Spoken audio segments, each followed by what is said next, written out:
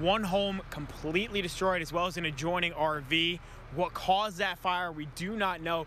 Two other homes were burned as well and received damage. So right now, crews are working on trying to put out any remaining hotspots, assessing the damage, trying to figure out what exactly happened. The call came, but the love is already pouring in for Governor Beshear. While we were doing our 7 o'clock hit a little while ago, it's a woman came by dropping 17,000 rose petals out front of the governor's mansion here, showing that she's wanting to show Andy Beshear and his family that they are loved by Kentuckians and they are excited for four more years. Regardless of what holiday you're shopping for this holiday season, there is a lot of pressure, especially on parents, to create core memories for their kids. But if you plan accordingly, things will be a lot more manageable. Been out there all morning. How's the excitement level looking like as we're getting closer to post time? Have you noticed anybody tailgating or anything? You know, I haven't seen anyone tailgating yet, but maybe there's someone walking around with an Irish coffee or two. But you could feel the buzz. People just love this place each and every year. This is, I think, the best Lexington has to offer from a sporting standpoint. And I know we have UK football and UK basketball, but I think there's just something different about Keeneland, and you're going to feel it the next 17 days. I can't wait to bring my parents and sister out here for the first time next week. Raising awareness for veteran and first responder mental health. That's what John and Corey Preston and others are doing as they continue their hike from South Carolina to Cincinnati. Tyler Melito has their story as they stopped in Lexington. 22. That's the number of roughly how many of our nation's heroes take their own life each and every day. It's also the number of miles a day John and Corey Preston have hiked for the last several months. I'm trying to stop suicide. That's what it is. I, I, there, awareness isn't a word for me anymore.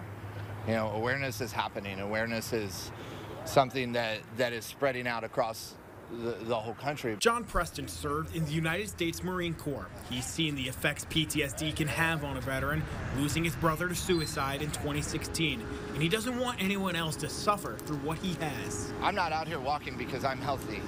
You know, I'm not out here doing this because my mind's okay. I'm out here doing this because I know there's a lot of people like me that suffer with post-traumatic stress that deal with these things, and I'm out here walking for all of us. Preston's wife, Corey, has been by his side the entire way. As a former first responder herself, she has advice for other military spouses when helping their loved ones. The first time that you ask your spouse or your loved one if they're okay, they're probably going to say yes knowing them well enough, you'll be able to see that that's not the case. And it's a matter of pursuing in a in a gentle and understanding way. Along the way, the Prestons have met other first responders, veterans, and active military members, like on Friday at Lexington Fire Department, Station 10. Understand that then there's a time that it seems dark or it seems wrong or it seems like we can't do it, you have to put your head down and you have to move like we have. And some, like James Murphy, decided to help and walk with them, saying he knows the struggle firsthand. The everyday, what we're going through, what you know they've gone through in in and out of the military. Um, it's somebody needs help. Everybody needs help sometimes. So. In Lexington, Tyler Melito, Fox 56 News. Countdown to Christmas has reached its final 10 days. With that, people will be ordering their gifts from all over the country and quite likely on Amazon. Tyler Melito joins me in studio to share what a day in the life is like for Amazon's delivery drivers. There are thousands of people and robots involved in the process of getting your order on Amazon to your door the moment after you click buy. But it is the men and women who are behind the wheel like Gina Vance who get it down the home stretch. The day starts dark and early for Amazon delivery drivers like Gina Vance. We met her right before 8 a.m., where she was already hard at work. A short time later, the excitement really ramps up. So we get here at 9, we're on the pad by 9.30, 9.35, and we're out on the road before 10. And once they get on the loading pad, it is a mad sprint to get every truck ready to go to hit the road but it isn't every person for themselves. We all work as a team, so it's not as bad as people would make it seem because when one person gets done loading their truck, they normally go help someone else. So it, it makes it easier as we work as a team. The teamwork, along with being prepared, is all the more important during the holiday rush. It is our busy season, but we do prep all year round for this. Like we know that we are gonna hit our busy season after Thanksgiving. So during the year, we average routes to try to make sure that we're balancing for peak. Amid the craziness a day could bring for Vance, from the weather to having to carry really large packages and much, much more, there are several moments that make it all worth it. I have a lot of uh, regular customers that I deliver to that will come out and their kids will come out and greet me with these big smiles. And as soon as they see the big blue truck, they start running.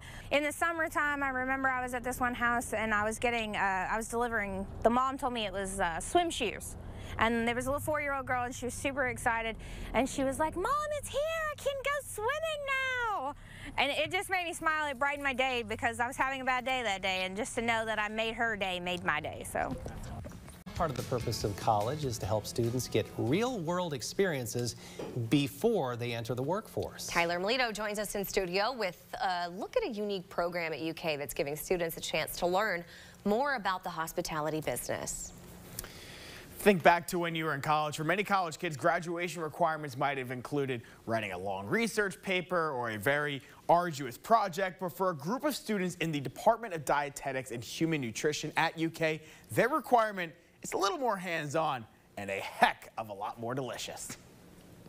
For years, the Lemon Tree restaurant at the University of Kentucky has been serving up quality meals to customers, but it's also a classroom experience most college students never get. It truly is a student-driven restaurant. They are the ones delivering this from every single step along the way, whether that is, you know, the service itself or even our dishwashers in the back of the house. You know, they're making sure that we're able to do this in a manner that really upholds the standards and the expectations that our clients expect or our guests in the dining room expect. Throughout the course of the semester, students have the chance to get hands-on experience in every role in the restaurant. For many, it's an eye-opening experience. I think the dishes for sure gives you more appreciation. How much work goes into just going out to eat? Because when you're the customer, you think, oh, I'm going to go get this. You know what cooking's like at home, but when you have to think of such a large production of food for so many people, you're like, oh wow, it takes a lot more time than you would have thought. In the kitchen, students learn from university chef in residence Bob Perry, whose 25 years of experience help make sure things don't go up in flames. Chef Bob's great. He's very patient with us because, like I said, a lot of us haven't really cooked before, especially for this many people. So having him always around and having his different experiences because he has a long list of diverse ones I think really helps. And in the classroom, lecturer Emily DeWitt, who took the class herself while at UK, hopes to challenge the next generation of bright minds. I always tell them they have to work together to figure it out first. I'm certainly there to provide guidance, but my goal is to really help encourage them and challenge them to do this as if I'm not there. So they always have to figure it out with one another. And then if they get stuck, then they have to problem solve, and that's when they can turn to me. When the dust settles after each class and after every dish is cleaned, Students say the feeling of accomplishment is like no other. I think getting to see the final product of when we actually get to serve it in there and having the customers have their pretty plates, and it's like, oh wow, a bunch of seniors in college made all this. It looks really good.